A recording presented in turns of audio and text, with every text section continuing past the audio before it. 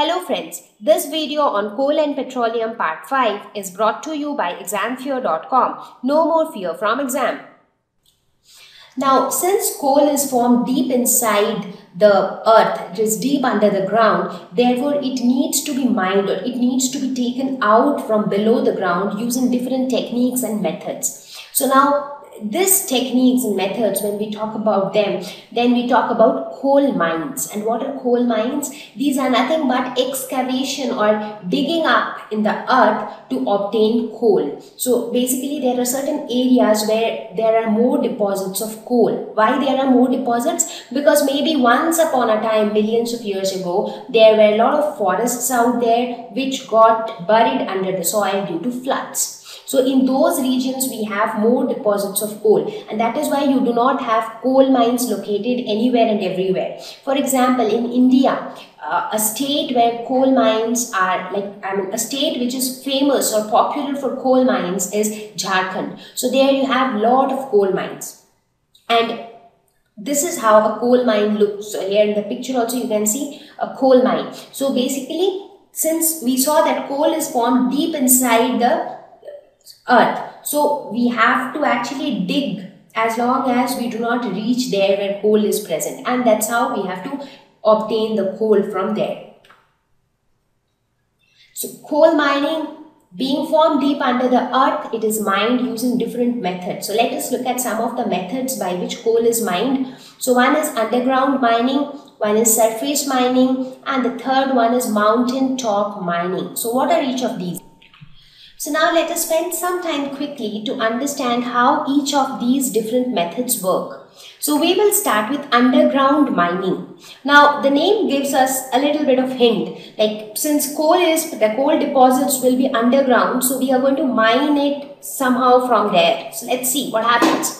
So here the miners, they dig tunnels down into the earth to find coal seams. So basically you see here, here you can see a person sitting inside a tunnel. Now since the coal is deep in, under the ground, so what you do is you construct a tunnel and the tunnel goes deep inside deep into the earth and you dig it until and unless you find that coal deposits. Now as I said before also that coal deposits are not found everywhere. There are specific locations where probability of finding coal mines are more. So that is where these kind of tunnels are being dug. Now since these tunnels are dug underground it is known as underground mining.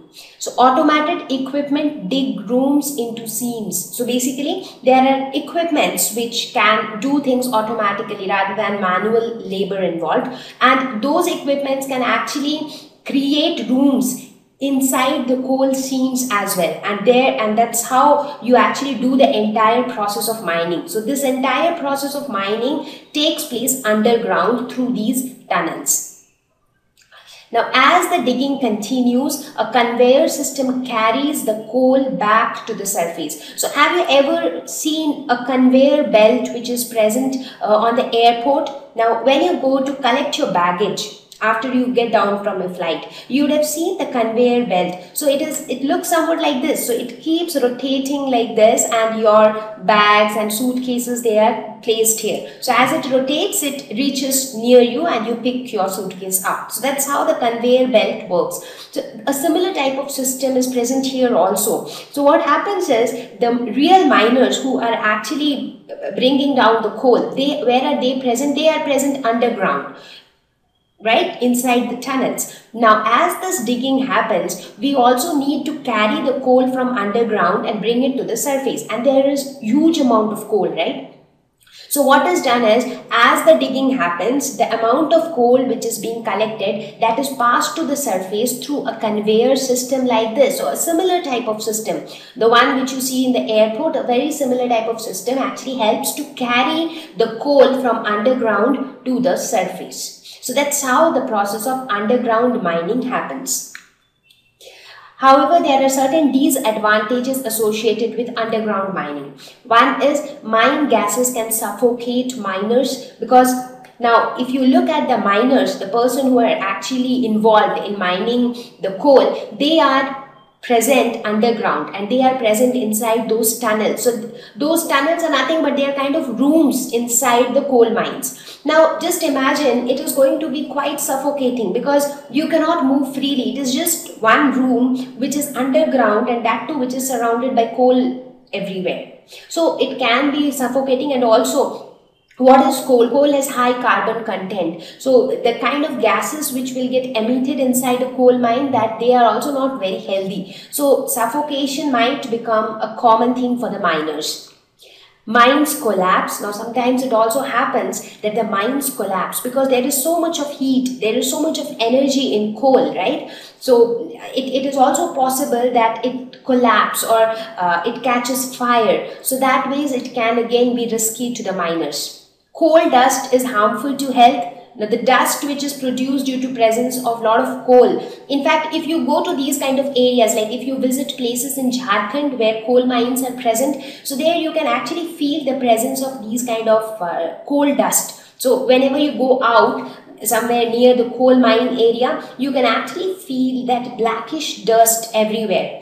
And these dust can cause uh, different diseases it can cause asthma it can cause breathing problems. So it can even call, cause uh, allergies and cold. So that way also it is harmful to the health of miners because in this mining the miner is always exposed to uh, a closed area full of coal dust the next type of coal mining is surface mining. So here we do not really go into underground, but we try to mine it being on the surface. So let's see how do we do that. Here coal seams are often close to the surface rather than deep underground. Now this type of mining is suitable for those areas where the coal seams are not very deep inside. So if it is relatively closer to the surface, there we can follow this surface mining because in this case it is faster, safer and more economical to dig the coal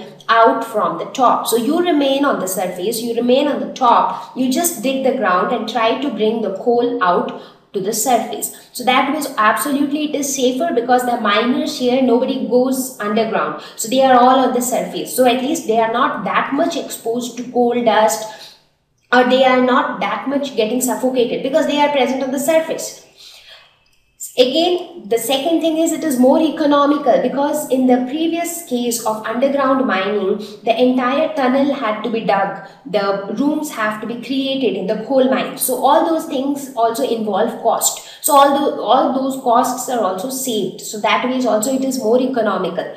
It is also faster because you are also saving time. When you are not digging a tunnel, you are saving time of course. So that ways it is also faster. But the only uh, disadvantage I would say that is associated with this is this will not work if the coal seams are present very deep inside the earth because in that case it is little difficult to bring it to the surface directly being on surface. So after peeling away the layer of soil over the coal, miners start digging out the coal seam using large equipment. So for digging purpose, there are equipments available. So all they need to do is since the coal the coal seams are not very deep inside. So all they need to do is just remove the top layer of soil. Once that is removed, you should be able to find the coal seam. And then you start digging the coal seam using a bigger equipment so that you can bring out the coal to the surface.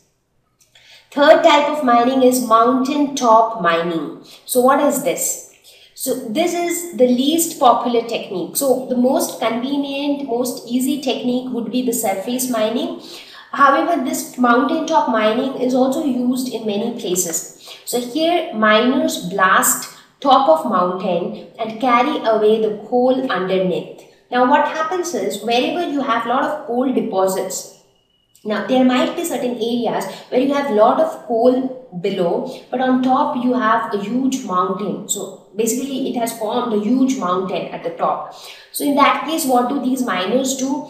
They blast the top of the mountain. So once you are able to blast the top of the mountain, what happens? The mountain gets exposed. You are basically removing the cover or the top cover of the mountain. So once the cover is removed, whatever is present inside gets exposed. And what is present inside in this case? Coal. So all the coal that is present underneath, they get exposed and that's how the coal is obtained.